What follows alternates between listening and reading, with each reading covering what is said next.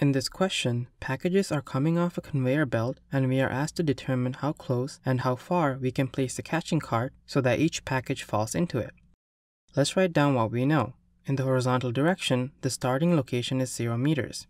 Location A is a distance of r away from the starting location, and location B is r plus 1 meters. The horizontal component of velocity is 2 cos 30 degrees, which is 1.732 meters per second. For the vertical direction, we have the starting location as 0 meters. The final location, or in other words, the distance the package falls, is negative 3 meters. The vertical component of velocity is negative 2 sine 30 degrees, or negative 1 meters per second.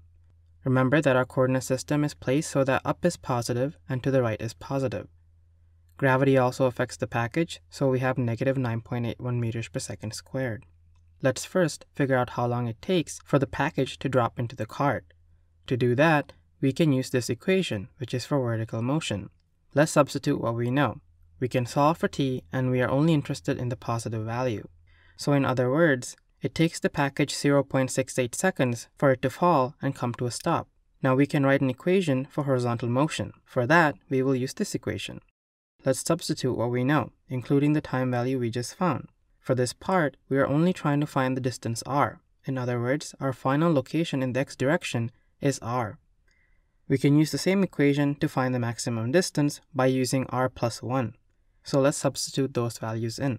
So our maximum value is 1.189 meters and the minimum value is 0.189 meters. Thanks for watching. If you have any questions, please comment below.